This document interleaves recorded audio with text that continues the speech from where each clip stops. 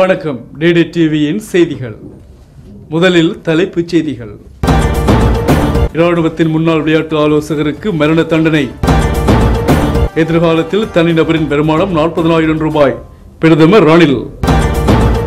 இந்திய பிரதமர் மோடியின் அதிரடி முடிவுக்கு ஆறாயிரம் கோடி ரூபாயை ஒப்படைத்த வைர வியாபாரி இனி விரிவான செய்திகள் கற்பிணியான தனது மனைவியை கொலை செய்து புதைத்த இராணுவத்தின் முன்னாள் விளையாட்டு ஆலோசகராக செயற்பட்ட நபருக்கு அனுராதபுரம் மேல் நீதிமன்றம் நேற்று மரண தண்டனை விதித்துள்ளது அனுராதபுரம் மகா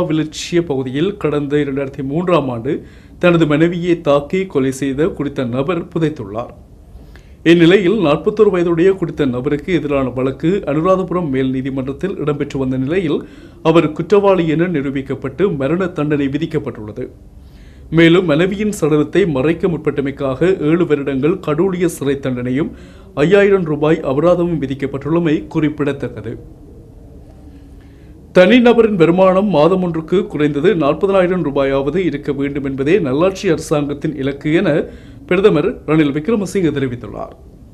கொழும்பு ஹமீடியா கல்லூரியின் நூற்று முப்பத்தி இரண்டாவது வருட நிறைவு வைபவமும் பரிசளிப்பு விழாவும் நேற்றைய தினம் இடம்பெற்றது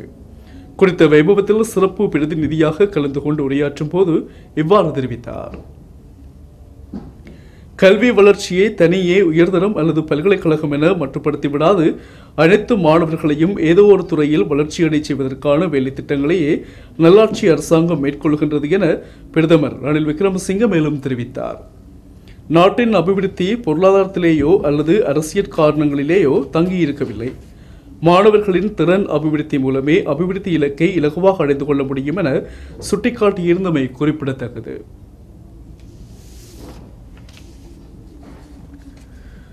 கொருணாகல் மாஸ்பத பிரதேசத்தில் போலீஸ் தொலைபேசி கண்காணிப்பு வாகனம் மீது துப்பாக்கிச்சூடு மேற்கொள்ளப்பட்டுள்ளது இந்த துப்பாக்கிச்சூட்டில் உப போலீஸ் பரிசோதகர் ஒருவர் உயிரிழந்துள்ளதுடன் மேலும் இரண்டு போலீஸ் அதிகாரிகள் காயமடைந்துள்ளனர் குறித்த பிரதேசத்தில் சந்தேகத்திற்கிடமான மோட்டார் கார் ஒன்றை சோதனையிட முற்பட்ட போது காரில் இருந்த நபரொருவர் துப்பாக்கிச் சூட்டை மேற்கொண்டுள்ளார் சம்பவம் தொடர்பான மேலதிக விசாரணைகள் ஆரம்பிக்கப்பட்டுள்ளன குஜராத்தை சேர்ந்த வைர வியாபாரி தன்னிடமிருந்த ரூபாய் ஆறாயிரம் கோடியை அரசிடம் ஒப்படைத்துள்ளார் இந்த தொகையில் ரூபாய் ஐயாயிரத்து நானூறு கோடி வரி பிடித்தம் செய்யப்பட உள்ளது நாட்டில் கருப்பு பணத்தை ஒழிப்பதற்காக ஐநூறு மற்றும் ஆயிரம் ரூபாய் நோட்டுகள் செல்லாது என்று பிரதமர் மோடி அண்மையில் அறிவித்தார் இதைத் தொடர்ந்து கடந்த சில நாட்களாக பழைய ஐநூறு மற்றும் ஆயிரம் ரூபாய் நோட்டுகளை மாற்ற பொதுமக்கள் அல்லாடி கொண்டிருக்கின்றனர் இந்நிலையில் குஜராத் மாநிலம் சூரத்தைச் சேர்ந்த வைர வியாபாரி லால்ஜிபாய் பாய் படேல் தன்னிடமிருந்த ரூபாய் ஆறாயிரம் கோடியை அரசிடம் அப்படியே ஒப்படைத்துள்ளார் இந்த தொகைக்கான வட்டி ரூபாய் ஆயிரத்து எண்ணூறு கோடி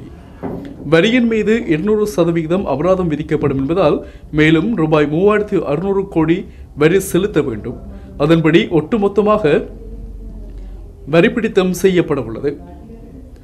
லால்ஜிபாய்க்கு ரூபாய் அறுநூறு கோடி மட்டுமே மிஞ்சும் பிரதமர் நரேந்திர மோடி அணிந்திருந்த கோட் சூட்டை ஏற்கனவே லால்ஜிபாய் ரூபாய் நானூற்றி முப்பத்தொரு கோடிக்கு ஏலம் எடுத்ததன் மூலம் நாடு முழுவதும் பிரபலமானவர் மேலும் அரசின் பெண் குழந்தைகளின் கல்விக்காக ரூபாய் இருநூறு கோடியை அவர் நன்கொடையாக அளித்துள்ளார் தன்னிடம் பணிபுரியும் ஊழியர்களுக்கு தீபாவளி தோறும் கார் மற்றும் வீடுகளையும் பரிசீலித்து வருகின்றார்